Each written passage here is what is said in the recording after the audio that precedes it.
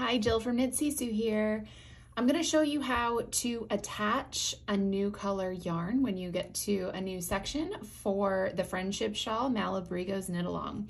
So I just finished the first section, garter section, using my color one, and I'm about to attach color two in order to go into the lace section. So go ahead and grab your tail for color two.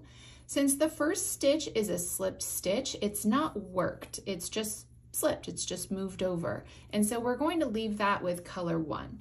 But the next stitch is a knit stitch. And here's a little trick.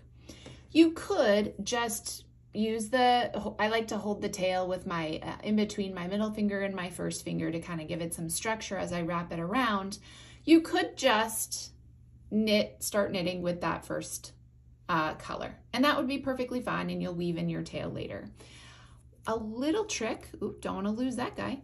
A little trick I like to do when attaching new colors though, and it works when you have really DK or smaller weight yarn. It doesn't work as well with thicker yarn, but this is perfect yarn for it.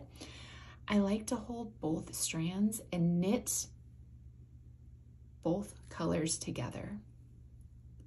And what that does is it secures your new color. So then my next stitch is a yarn over and I can continue working.